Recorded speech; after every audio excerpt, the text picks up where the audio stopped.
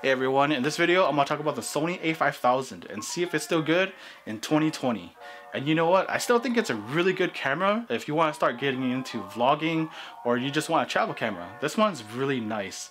The Sony a5000 does come with a 20 megapixel APS-C sensor, so it's to take really good quality images. Another thing I like about the Sony a5000 is that it's really light. As you can see here, it's a lot lighter than my Nikon Z6. So that's one of the good things about the Sony a5000 is that it's still really light. And another thing I like about the Sony a5000 is that the rear LCD screen flips like this. That way when you're vlogging or you're trying to compose your shot, you can easily just look at the LCD screen and see what you're filming. The Sony a5000 does do video recording the video autofocus performance is actually not too bad, especially for a six-year-old camera. It's not too slow, it's not too fast, and if you have enough light on your on you or your subject, it'll autofocus pretty quickly. One of the good things I like about the Sony a5000 is the menu. Going from my Nikon Z6 to the Sony is really easy to get used to. Another cool thing about the Sony a5000 is that if you do have a Sony E lens, you can mount it on this Sony a5000. So that's really cool that you can interchange Sony E mount lenses on this too.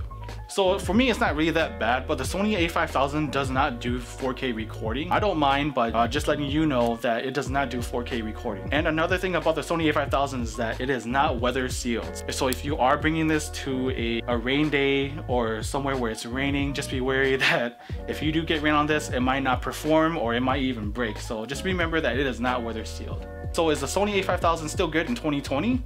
I would say it is still a really good camera, especially if you're on a tight budget and you want to use a, a better camera and not your phone. The Sony a5000 is really good, especially once you tilt the screen, you can just hold it like this, it's really nice. And like I said, it's really lightweight as well. So that's one of the things I really like about the Sony a5000. If you're looking for a vlogging camera, I would highly suggest the a5000. It's just really compact, it's really light, and the video is actually still, still not too bad, especially if you're just getting to vlogging. I personally think it's a lot better than my phone. I would consider this low light, but just testing out the low light performance on this thing. Um, the lens is at f3.5, uh, 130th shutter speed. This is just all on superior auto mode too. So if you're vlogging at a low light area, uh, I would say that's low light, I guess, but it's still not too bad. Um, the A5000 is actually pretty nice. I don't know what the ISO is at. It's telling me it's ISO auto. I'm assuming it's probably at like 5,000. Can't tell, but it's good getting it's producing good lights for the low light.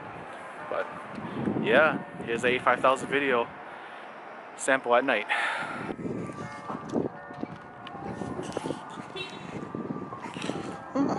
it's not too bad, but this is at 16 millimeters at f3.5.